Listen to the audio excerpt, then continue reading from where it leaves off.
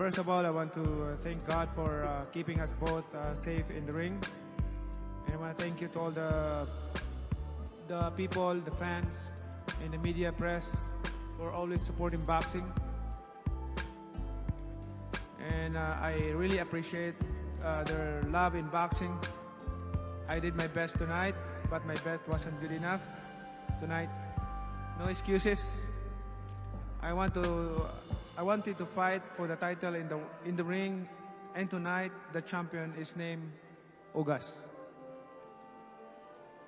I've done a lot for boxing and boxing has done a lot for me. I look forward to spending time with my family and thinking about my future in boxing. I want to thank all my fans that came to see me fight tonight.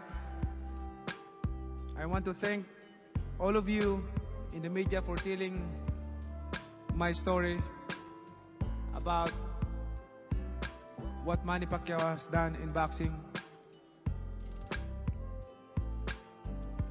For how many decades you, press and media and the boxing fans always behind us, supporting us.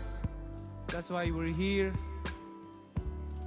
We become popular and we uh, accomplish our dream as a, as a fighter because of you.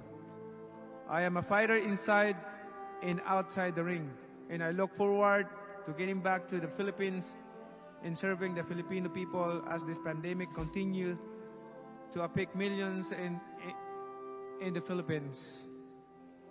Congratulations, congratulations to Ugas and his team. Thank you to all of you. And I wanna I wanna thank to uh, Al, TGB Promotion for giving me this opportunity.